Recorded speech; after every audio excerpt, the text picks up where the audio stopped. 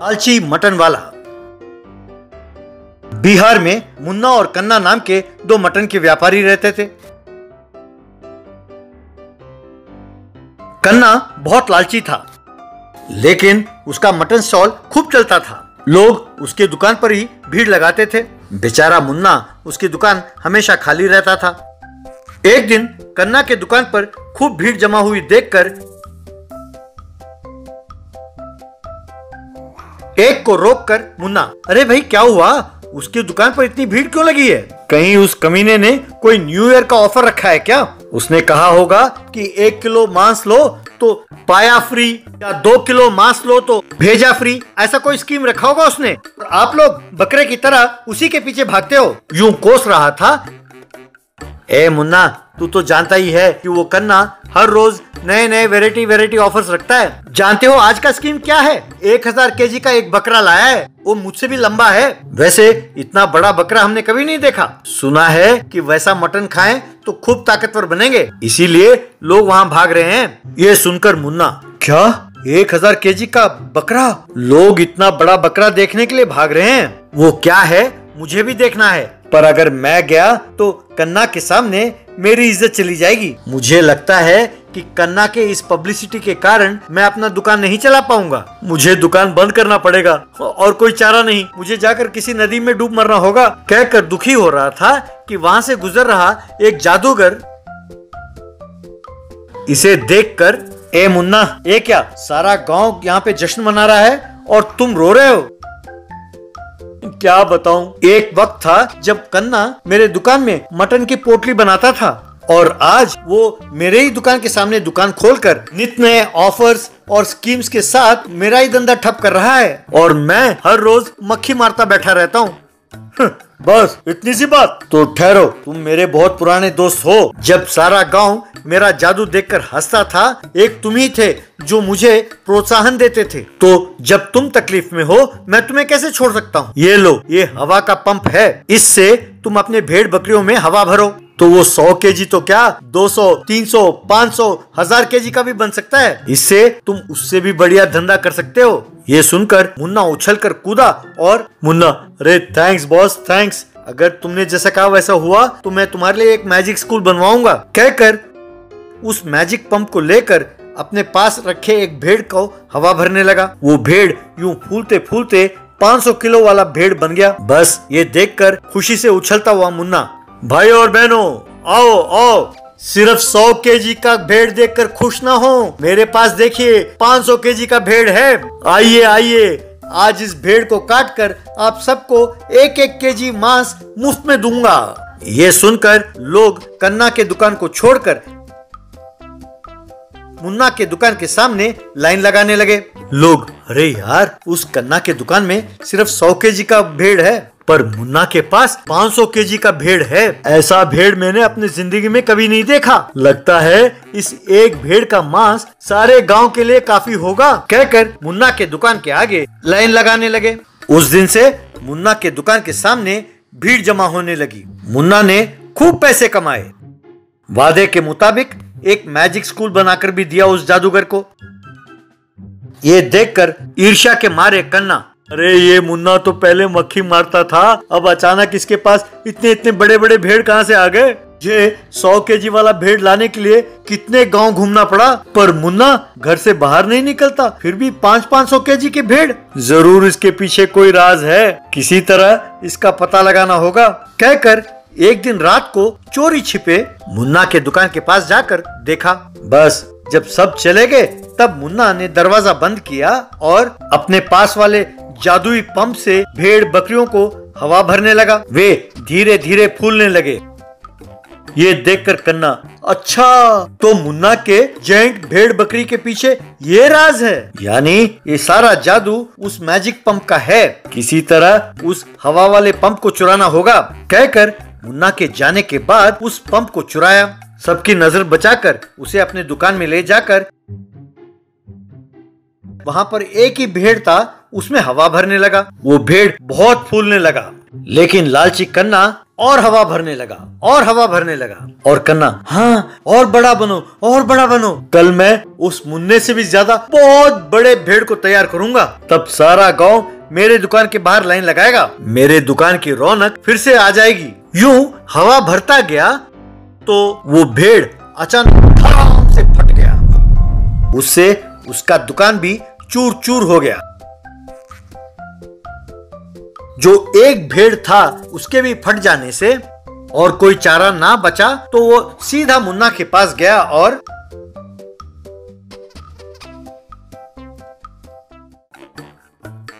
मुन्ना भैया शेर के खाल में गीदड़ की तरह मैं तुम्हें देखकर तुम जैसा बनना चाहता था। मैं तुमसे आगे बढ़ना चाहता था कुछ जादू करके। और आज मेरी नौबत यह है कि मैं सड़क पर आ गया हूँ। मेहरबानी करके मुझे अपने पास नौकरी पर रख लो, बॉस। कहकर हाथ जोड़ने लगा तो मुन्ना ने उसे नौकरी पर रख लिया और ये ईमानदारी से काम करने लगा। लालची चिकन वाला। एक गाँव में बकासुर नाम का एक चिकन शॉप वाला रहता था। बकासुर बहुत लालची था। संजू नाम का व्यक्ति उसे ऑटो में मुर्गियाँ लाकर सप्लाई करता था। एक दिन बकासुर संजू से तुम अपने मुर्गियों को क्या खिलाकर पालते हो? अगर उनका पर निकाल दिया तो उनका वज़न एक किलो भी नहीं रहता।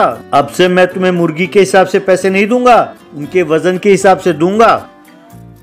अरे अरे, रहने दो। कोई कपड़े उतार कर वज़न देखता है क्या? मैं अपने मुर्गियों को काजू बादाम खिलाकर पालता हूँ। अरे, इससे बढ़िया मुर्गियाँ यहाँ आसपास कहीं नहीं मिलेंगे। अब तुमने ऐसी बात कही, इसलिए अब से हर मुर्गी का पचास रूपए ज़्यादा देने होंगे। मर्ज़ी हो तो लो, वरना रहने दो। कहकर चला गया? हम्म बढ़ाओ बढ़ाओ। अरे, तुमने पचास रुपए बढ़ाए तो मैं उससे पाँच हज़ार कमाने के तरीके सोचूँगा। अरे, तुम मेरे बारे में नहीं जानते। ऐसा उसने सोचा। बाद में बकासुर अपने लैपटॉप पर पूरा इंटरनेट को छानने लगा। यूँ उसने इंटरनेट पर एक दिन बिताया। कुछ दिनों बाद एक फार्मास्यूटिकल कंपनी वाला आदमी बकासुर के पास आया। सर ये रहे जो आपने ऑर्डर किया था वो दवाइयाँ और सिरिंज अगर आपने ये इंजेक्शन डाला तो मुर्गियाँ 10 मिनट में 100 गुना बड़े हो जाएँगे। लेकिन उन मुर्गियों को जो खाएगा उसका पेट दर्द होना निश्चित है। अरे कोई बात नहीं। मेरे मुर्गियाँ बड़ी हो बस यही काफ़ी है। अरे उसे खाने के बाद लोगों का क्या होता है? उससे मुझे क्या लेना देना? अगले दिन संजू ने मुर्गियों का डिलीवरी किया। बकासुर ने उनमें से एक मुर्गी को इंजेक्शन लगाया। दस मिनटों में वो मुर्गी बहुत बड़ी हो गई। ये देखकर बकासुर बहुत खुश हुआ।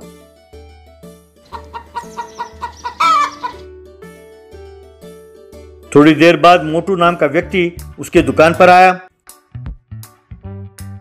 कल मेरा पच्चीसवां साल गिरा है। मैं अपने दोस्तों को बहुत ग्रैंड पार्टी देने वाला हूँ। इसलिए मुझे एकदम बढ़िया पच्चीस मुर्गियाँ देना। अरे 25 मुर्गियों का क्या करेंगे, सर? मेरे पास अफ्रीका से मंगाया हुआ एक जैंट मुर्गी है। वो अकेली मुर्गी 40 लोगों के लिए काफ़ी है। आप अपने दोस्तों को घर में पार्सल भी भेज सकते हैं। इस मुर्गी का दाम केवल पाँच हज़ार रूपए है। आप खुद ही देख लीजिए। कहकर उस मुर्गी को दिखाया। उस मुर्गी को देखकर मोटू दंग रह गया। बाप रे इतनी बड़ी मुर्गी। अरे इसे देखो तो लगता है कि ये हमें खा जाएगी। आप चिंता ना करें सर। आप एक लॉरी मंगवा लीजिए। यू मोटू उस मुर्गी को लॉरी में ले गया। इस तरह बकासुर उन मुर्गियों को इंजेक्शन देने लगा। बड़े बड़े फंक्शनों के लिए उन जेंट मुर्गियों को बेचने लगा। यूँ उसने खूब पैसे कमाए। एक दिन बकासुर का बेटा मिंटू उस इंजेक्शन के साथ खेल रहा था और गलती से उसे कुर्सी में रखकर चला गया। इस बात से अनजान बकासुर जाकर उस कुर्सी में बैठा। बकासुर को वो इंजेक्शन चुभी। दस मिनट बाद जब बकासुर बाहर आया तो वो जेंट मैन में बदल गया था। वो खुद अपने आप को देखकर डर गया। हे भगवान, ये क्या? मैं इतना बड़ा हो गया? यानी थोड़ी देर पहले जो मुझे चुभी, वो इंजेक्शन थी। मैंने तो सोचा, कोई पिन चुभ गया होगा। अब मेरे ज़िंदगी का क्या होगा भगवान? यूँ सोच रहा था। बकासुर को गाँव के सड़कों पर चलते हुए देखकर लोग डर के मारे भाग जाते। उसे बहुत भूख लगने लगी। वो एक ढाबे में गया। होटल का मालिक उसे देखकर डर गया। अरे, डरो नहीं भैया, मुझे बहुत भूख लगी है। तुम्हारे होटल में आज जितना भी चिकन बिरयानी बना हो, वो सब मुझे दे दो, मैं खाऊँगा। मैं तुम्हें प्लेट के हिसाब से पैसे दूँगा। यूँ बकासुर एक हांडी भर के बिरयानी खा गया।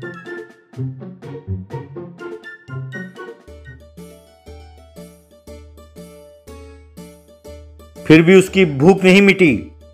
यूँ बकासुर उस गाँव के सारे होटलों में जाकर वहाँ पर बने चिकन बिरयानी और मटन बिरयानी सब खा गया। यूँ उसने जितने पैसे कमाए थे, सब खर्च हो गया। फिर भूख मिटाने के लिए उसे अपना घर भी बेचना पड़ा। बाद में गाँव में भीख मांगने लगा। कोई उसे खाना नहीं खिलाता था। एक दिन एक झोपड़ी के पास गया। माई भूख के मारे जान निकली जा रही है। थोड़ा सा खाना हो तो खिला दो। झोपड़ी में बैठी बुढ़िया। बेटे, तुम्हारे भूख मिटाने की शक्ति भगवान ने मुझे नहीं दी है। लेकिन एक बात बताती हूँ, ध्यान से सुनना। तुमने पैसों की लालच में आकर मुर्गियों को इंजेक्शन देकर अपना ये हाल बना लिया है। इसीलिए ध्यान से सुनो, लालच छोड़ो और भगवान से प्रार्थना करो। हो सकता है फिर से तुम साधारण आदमी में बदल जाओ। अब बकासुर उस गाँव में रह नहीं पाया। वो अपने पत्नी और बेटे को लेकर उस गाँव को छोड़कर जा रहा था। तभी उसके सामने एक साधु प्रकट हुए। मिंटू ने उन्हें सब कुछ बताया और उनसे प्रार्थना की। भगवान ने इसे सही सजा दी है, लेकिन तुम लोगों को देखकर मुझे तरस आता है। इसलिए इसे फिर से साधारण व्यक्ति में बदलता हूँ, कहकर हाथ हिलाया। तब बकासुर एक साधारण व्यक्ति में बदल गया। दोबारा मुर्गियों को इंजेक्शन दिया तो तुम्हारा भी फिर वही हाल होगा। खबरदार। उस दिन से बकासुर ईमानदारी से चिकन शॉप चलाने लगा।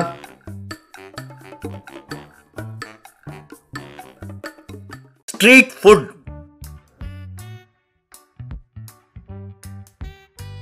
शिरोल नाम के गाँव में, झांसी नाम की एक औरत अपने बेटे पवन के साथ एक होटल चलाती थी।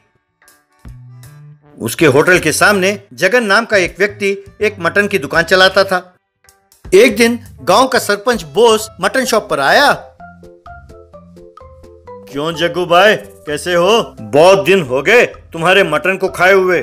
तब जगन की पत्नी राधा। क्यों भैया? मेरे पति का मटन कह रहे हो? कहीं उनको काट कर खाने वाले तो नहीं हो ना? अरे चुप रहो बहन लोग सुनेंगे तो सोचेंगे कि ये सरपंच बहुत कमीन आदमी है। अरे राधा तुम चुप रहो। सरपंच जी के लिए एक किलो मटन देना।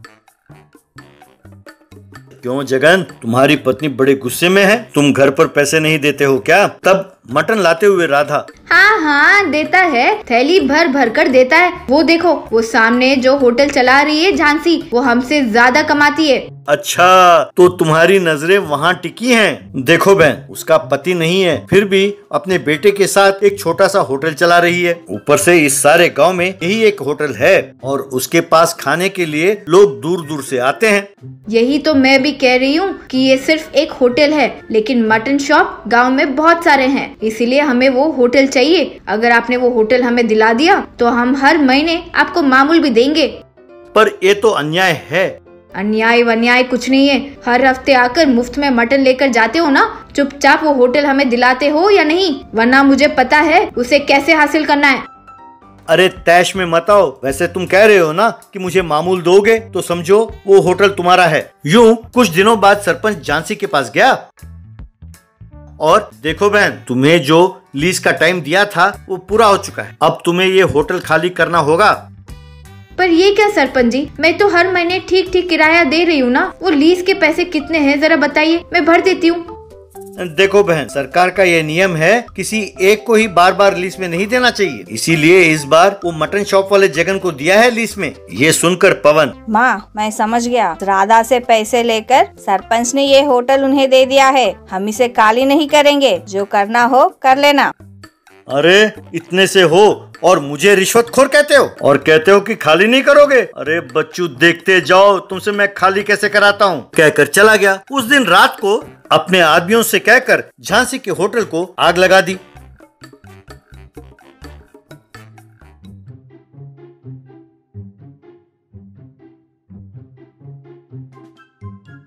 अपने होटल को बर्बाद होते हुए देखकर झांसी और पवन रो रहे थे। कि तभी झांसी का भाई प्रशांत वहाँ पहुँचा। प्रशांत से झांसी भैया सब कुछ बर्बाद हो गया। जो मेहनत से कमाए थे पैसे सब कुछ राख हो गया। यूँ दुखी हो रही थी। दीदी तुम चिंता ना करो। मैं तुम्हारे लिए एक होटल तैयार करता हूँ। यूँ गाँव के बाहर अपने दोस्तों के साथ मिलकर एक ड्रम को दो हिस्से में काटा और उनसे चूल्हा बनाया और एक रेस्टोरेंट को खड़ा किया। ये देखकर झांसी रे भैया, ये तो बहुत बढ़िया है। अरे, एक चूल्हे में इडली, डोसा बनाएँगे और दूसरे चूल्हे में मटन चिकन वगैरह बना सकते हैं। अब शहरों में सब ऐसा ही करते हैं, दीदी। वहाँ पर लोग इसे स्ट्रीट फ़ूड कहते हैं। अब तुम्हें किसी कमीने से डरने की ज़रूरत नहीं है। ये ज़मीन भी तुम्हारी है। तुम्हारे नाम पर परसों ही मैंने इसे खरीदा है। अब शुरू करो अपना स्ट्रीट फ़ूड। देर किस बात की, दीदी? तब सब मिलकर स्ट्रीट फ़ूड चलाने लगे। लोग दूर दराज से आकर वहाँ पर चिकन, मटन सब खाने लगे। एक ग्राहक ने झांसी से दीदी तुम्हारा ये स्ट्रीट फ़ूड का सेटअप बहुत बढ़िया है। एकदम ढाबा स्टाइल में बड़े सिंपल बनाया है आपने। मैं अपने दोस्तों को भी यहीं भेजूँगा। अच्छी बात है भैया बहुत खुशी हुई। इस तरह आसपास के गाँव में भी झांसी का स्ट्रीट फ़ूड बहुत मशहूर हो गया। राधा के होटल में जगन और राधा दोनों खाली बैठे थे। तब सरपंच बोस वहाँ आया और, अरे ये क्या? होटल में कम से कम मक्खी भी नहीं है। अरे जब तुम्हारी मटन की दुकान थी, तब कम से कम थोड़ा बहुत तो ठीक था। से कम चार मक्खियाँ तो मंडराती थी। अब तो उन्होंने मटन का बिज़नेस भी शुरू कर दिया है। वो भी तुम्हारे हाथ से गया। सारे गाँव वाले उस स्ट्रीट फ़ूड के पास ही जा रहे हैं खाने के लिए। अगर सब वहाँ चले गए तो हम चुप बैठेंगे क्या? उसको भी उड़ा देंगे। तब लोग झक मारकर यहीं आएँगे। मैंने आज रात को ही उस स्ट्रीट फ़ूड को तबाह करने का मुहूर्त निकाला है। यूँ उस रात को कुछ लोगों को साथ देकर जगन, राधा और बोस स्ट्रीट फ़ूड के पास पहुँचे। वहाँ जाकर उसे आग लगाने ही वाले थे कि वहाँ पहरा दे रहे चार कुत्ते उन पर टूट पड़े। तब दौड़ती हुई राधा। अरे ये कुत्ते कहाँ से आ गए अरे कोई इसे मारो मारो इसे। अरे कैसे मारे? अरे ये कुत्ते यहाँ के चिकन और मटन खाकर इनके वफादार बन गए। अब उनके खाने को बिगाड़ने आओगे तो वो चुप रहेंगे क्या? तुमने क्या उन कुत्तों को झांसी समझा है जो चुपचाप रोते हुए चले जाएँगे? अब यदि हम यहाँ से ना भागे तो ये हमें काट कर बोटी बोटी नोच डालेंगे। तब उन कुत्तों ने इन्हें काट कर इन्हें वहाँ से भगा दिया।